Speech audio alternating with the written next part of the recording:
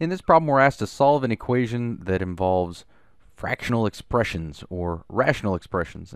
And by that, I just mean that we have denominators that are underneath expressions involving the uh, involving the variable. Now we could factor out the uh, the fraction one sixth times three r plus five, four third or one third times four r plus three, but we really don't need to do that. We can just start by multiplying by the LCD. So we start with what's the least common denominator.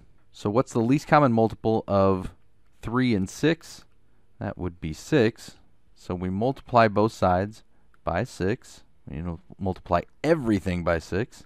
So the first part of this, we distribute the 6 to 3r plus 5 divided by 6. Well, 6 divided by 6 is just 1, so that's going to cancel and leave us with 3r plus 5. We still need to distribute the 6 to the 1, however, so that's going to be plus 6 and that equals, I'm going to do a little trick here first. Since we're multiplying by 6 and dividing by 3 on the right-hand side, we can cancel any like multiples, any factors of 3 and 6. So 3 divided by 3 is 1, 6 divided by 3 is 2. Now all we need to do is distribute the 2. 2 times 4r is 8r, and 2 times 3 is 6.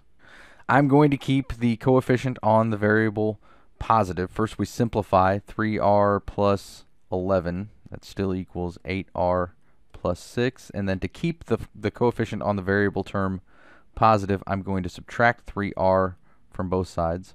You could subtract 8r from both sides and, and have the variable on the left, but then you'd end up with a negative coefficient, and I'm just trying to avoid negative coefficients.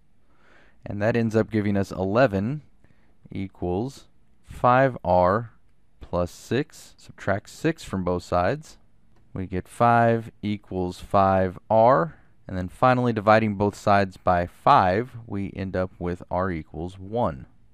As usual, we want to check our solution, so we'll substitute into the original equation 3 times, we got r equals 1. So 3 times 1 plus 5 over 6 plus 1 and we want to know does that equal 4 times r, which in this case we solve for r equals 1, plus 3 divided by 3. So we'll simplify on the left-hand side. 3 times 1 is 3, plus 5 is 8 sixths. And that's the same thing as 4 thirds. 8 sixths is 4 thirds. Plus 1, and we want to know, does that equal 4 times 1 is 4, plus 3 is 7 thirds. And now this is the same thing as 4 thirds plus 3 thirds. Because if we write this as a fraction 1 over 1, and then we multiply by the least common denominator of 3 over 3, we end up with 3 thirds. And again, we want to know, does that equal 7 thirds? And we do end up with 7 thirds equals 7 thirds. So our solution checks.